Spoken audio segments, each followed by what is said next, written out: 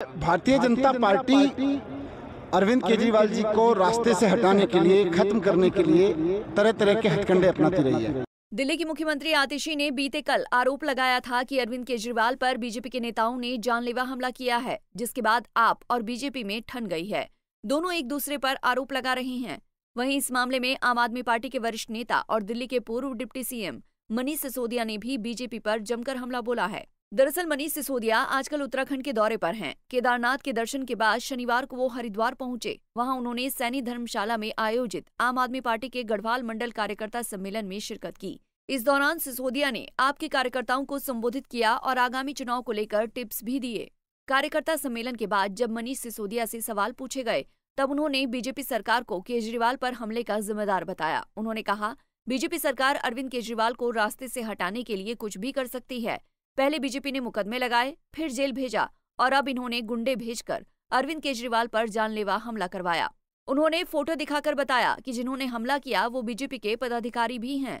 सिसोदिया ने आगे कहा कि भाजपा कितने भी षड्यंत्र रच ले, लेकिन आम आदमी पार्टी के विचारों को समाप्त नहीं कर सकती। भारतीय जनता पार्टी अरविंद केजरीवाल जी को रास्ते से हटाने के लिए, खत्म करने के लिए तरह तरह के हथकंडे अपनाती रही है।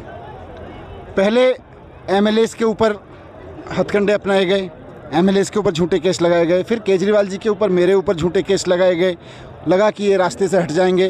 क्योंकि अरविंद केजरीवाल जी काम करने की राजनीति करते हैं, ईमानदारी की राजनीति करते हैं और दिल्ली की जनता बीजेपी के तमाम हथकंडों के बावजूद मानने को तैयार नहीं है कि अरविंद केजरीवाल जी कोई गलत काम करते हैं। और काम जो अच्छे करते हैं, उनका तो बेनिफिट जनता को मिल ही रहा है।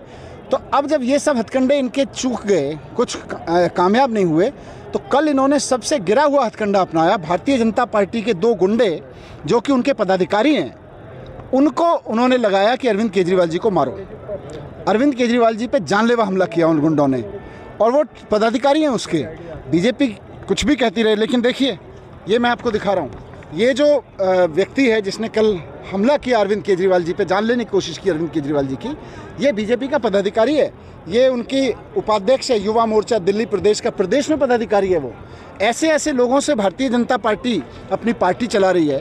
और फिर जब केजरीवाल जी जैसे ईमानदार और काम करने वाले नेता जनता के बीच जाते हैं तो उन्हें मारना चाहती है जान से। आपको बता दें कि बीते रोज आप नेता मनीष सिसोदिया ने केदारनाथ के दर्शन भी किए थे, जहाँ उन्होंने आदिगुरु शंकराचार्य की समाधि स्थल पर ध्यान भी लगाया।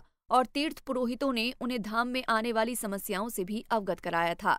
केदारनाथ दौरे को लेकर भी मीडिया ने उनसे सवाल पूछा, जिसके जवाब में उन्होंने कहा कि वो शुरू से ही भगवान शिव और माता वैष्णो देवी में आस्था रखते हैं और पहली बार उन्होंने केदारनाथ के दर्शन किए हैं। गौरतलब है कि अरविंद केजरीवाल के बाद आम आदमी पार्टी में दूसरे नंबर की हैसियत रखने वाले सिसोदिया भी काफ़ी समय तक आबकारी घोटाले के मामले में जेल में रहे हैं और तभी से वो बीजेपी पर साजिश कर मुकदमे लगाने के आरोप लगाते रहे हैं।